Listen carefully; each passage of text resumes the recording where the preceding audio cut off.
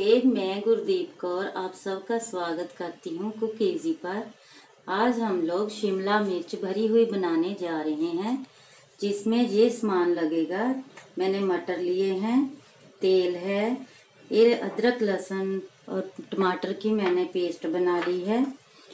ये हींग है, ये धनिया पत्ता मैंने काट लिया है, दो प्याज काटे हैं और एक तीन चार बड़े आलू मैंने बॉयल कर लिए हैं और ये शिमला मिर्च मैंने धो के रखी है। और ये हल्दी है, काला जीरा, कलौजी जिसे बोलते हैं। ये जीरा है, ये लाल मिर्ची पाउडर है, ये धनिया पाउडर है, ये मैंने कड़ी पत्ते लिए हैं और ये नमक है। हमारी कढ़ाई गर्म हो चुकी है, अब इसमें तेल डालेंगे। तुड़का लगाने के लिए जो मसाला हम लोग का शिमला मिर्च में भरा जाएगा। मैंने कड़ी अब हमारा तेल गर्म हो चुका है। इसमें मैं कड़ी पत्ते डाल रही हूँ।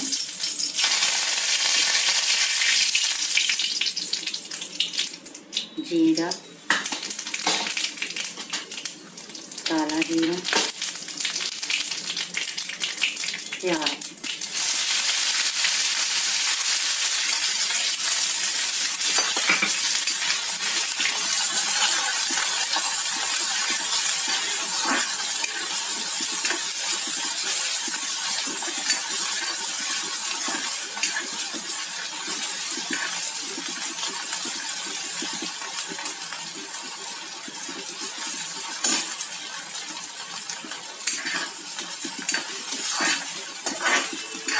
प्याज हम लोग ने अच्छी तरह लाल कर लेने हैं।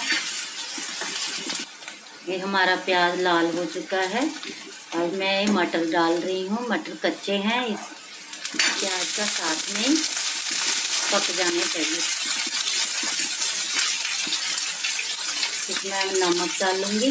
नमक आप स्वाद अनुसार डाल लीजिए।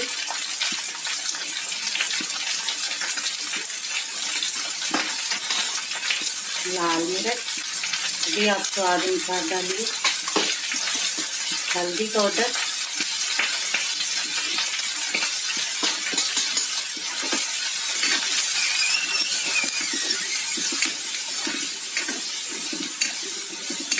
ये हमारा प्याज और मटर अच्छा से भून चुके हैं। तेल छोड़ दिया है। अभी मैं इसमें टमाटर, अदरक, हरी मिर्च की पेस्ट डाल रही हूँ।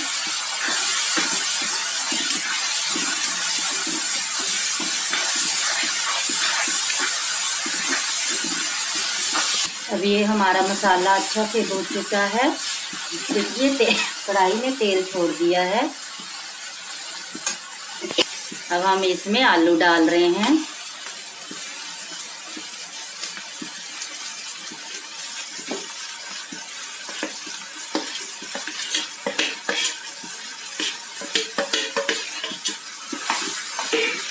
आँच कम कर देंगे। अब ये हमारा मसाला तैयार हो गया है। मैं इसमें धनिया पाउडर मसाला डाल रही हूँ।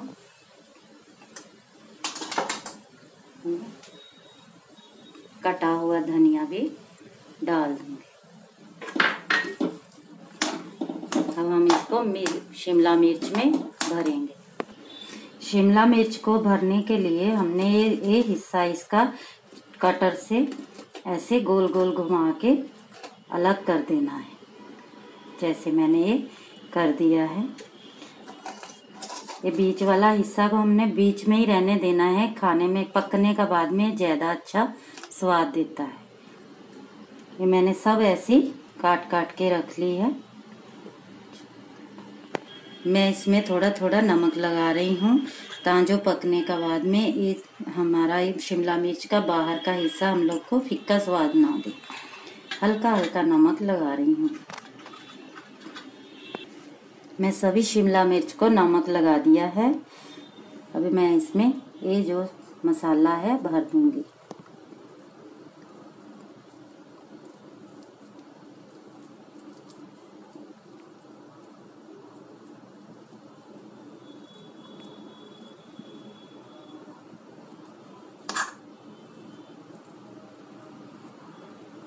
इसको टाइट करके भरना है।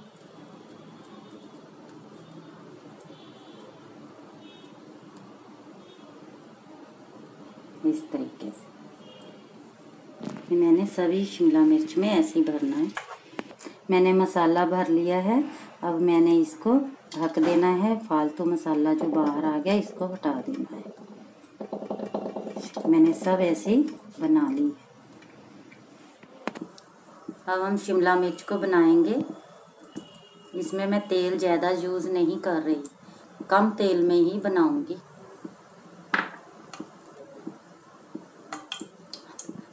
अब हमारा तेल गर्म हो चुका है, मैं इसमें हींग तड़काऊँगी। हींग हमारी गर्म हो चुकी है। अभी मैं आहिस्ता आहिस्ता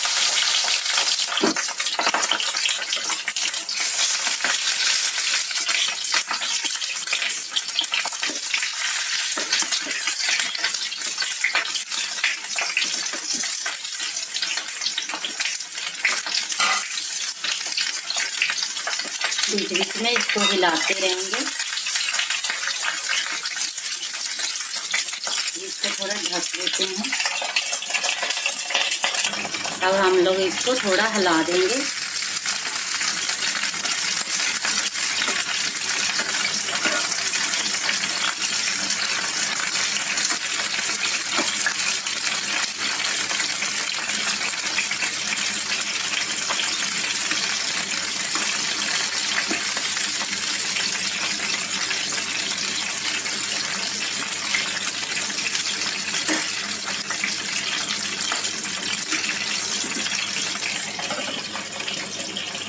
धीमी आँच में पकाएँगे।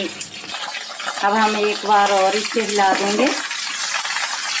आप ऐसे चपटे बर्तन में बनाओगे तो ऐसे हिलाने में सुविधा रहती है। जब तक हमारी शिमला मिर्च पक रही है, मैं साथ में, शिमला मिर्च के साथ में आज तंदूरी रोटी बना रही हूँ। एक बाटी मैंने आटा लिया है गेहूँ का और ये मैदा है। ये थोड़ा घी गर्म करके इसमें मैंने आटा गूंथने में डालूँगी। और ये सजाने के लिए बना लगाऊँगी और ये पानी है, जो इससे आटा बनाऊँगी। गुनगुना पानी है जी। ये मैं आटा डाल रही हूँ। ये मैदा है। अब मैं इसमें घी डालूँगी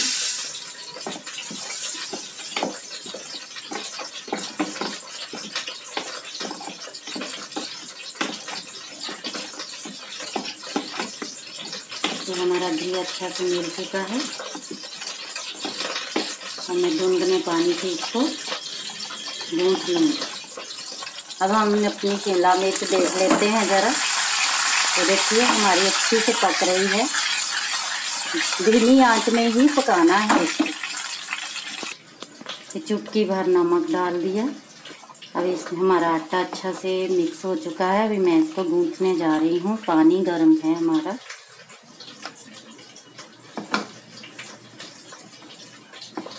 इससे दो तीन रोटियाँ आराम से बन जाएँगी।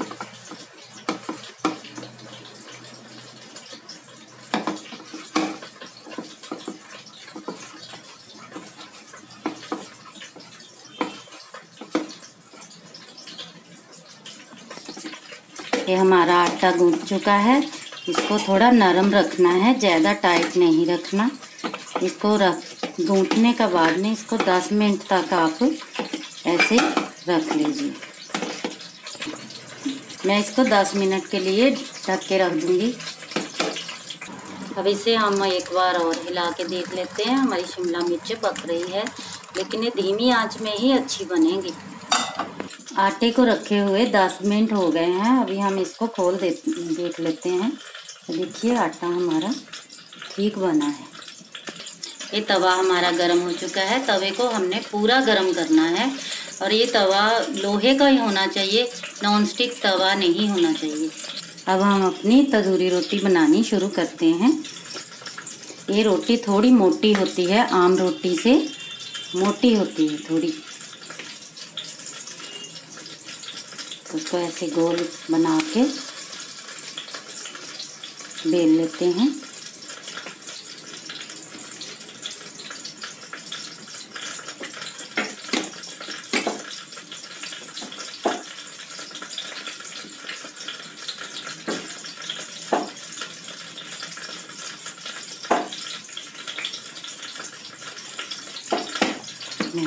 रोटी बिल चुकी है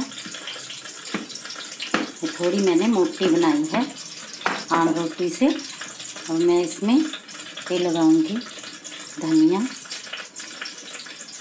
प्याज और हरी मिर्च टमाटर। तो हम ऐसे बेल देंगे। तो हमारी रोटी, तैयार हो। अब हम तवे में डालेंगे इसको। ये हमारे उल्टी साइड में हमने इसको पानी लगा देना है। ऐसे। पानी लगा देना है। पानी लग चुका है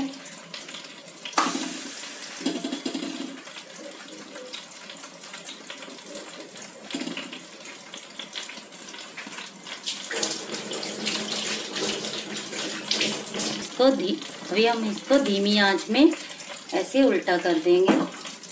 बीच बीच में इसको देखते रहेंगे।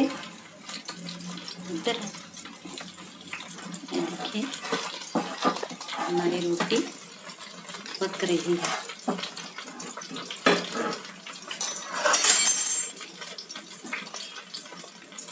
घुमा घुमा के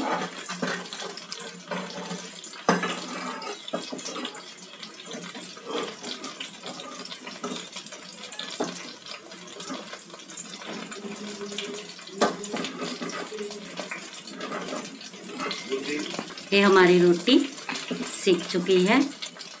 देखिए, कितनी अच्छी बनी है।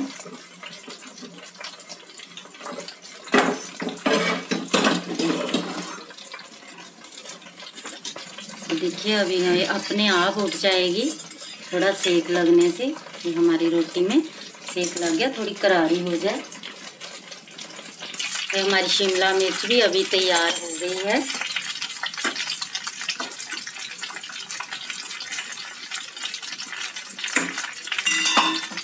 ये हमारी शिमला मिर्च भी हो चुकी है। तेल सारा इसने छोड़ दिया है।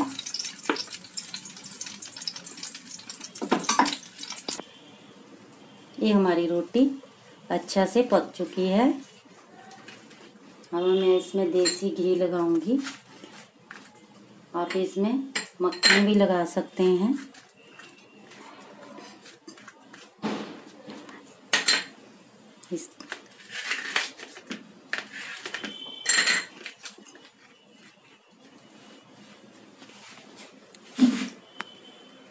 शिमला मिर्च और तंदूरी रोटी हमारी पक चुकी है। ठंड के मौसम में बनाइए और खाइए।